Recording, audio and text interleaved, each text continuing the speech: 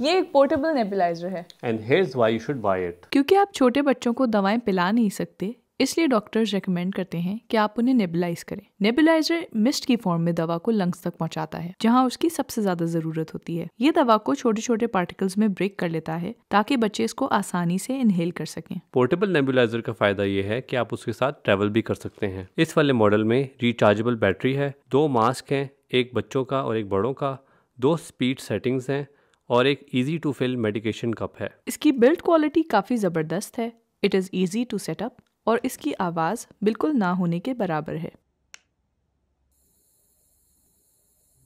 हमने इसको दराज से ऑर्डर किया है और अगर आप भी इसको लेना चाहते हैं then check out the description